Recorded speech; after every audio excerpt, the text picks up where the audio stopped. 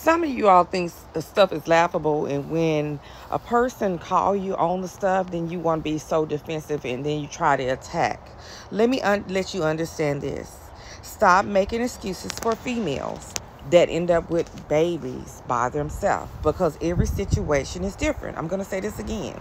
Every broken home is not broken because the male. Sometimes the home is broken because the female. Because see you have to know the backgrounds of the families before you speak on people's family. Each situation is different. There's so many scenarios in life. Broken homes, single moms, sometimes these women, not all, choose to be by themselves. Some just want to have babies. Some don't. Some get stuck with babies because the man don't want to be a man. But do not put every young man or man in that category that they don't want to be a part of their child life.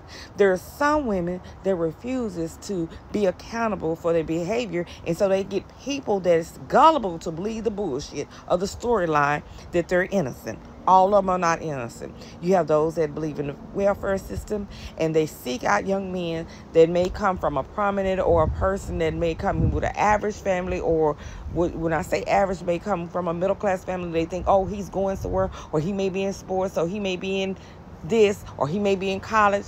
They target, some young ladies target certain type of men and those men sometimes make poor decisions. They didn't use protection just like the female did.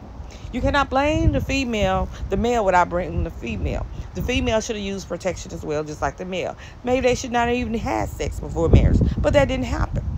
We're not going to sit up here and feel sorry for every young lady in America that is a single mom is because the man abandoned her. Now, I, I can speak on this. I can t- truly speak on this. But I have seen other scenarios where men have actually tried to be a part of these children's life day one and they have controlling families and when you do the history there is no men or male figures in that family. Shame on shame on not fact fact finding about those families but shit happens. There's women that are in the system because their parents are in the system and sometimes good young men average young men mate up with these young ladies and have babies and they get caught in the legal system. So we're not going to say that there are innocent women being abandoned. Some of these women choose not to be in these men's life and they choose to be the dominant party.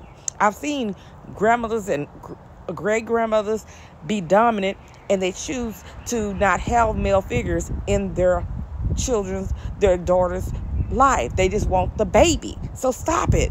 It's more than one scenario in his life. Stop feeling sorry for every single mom because they have different ideas.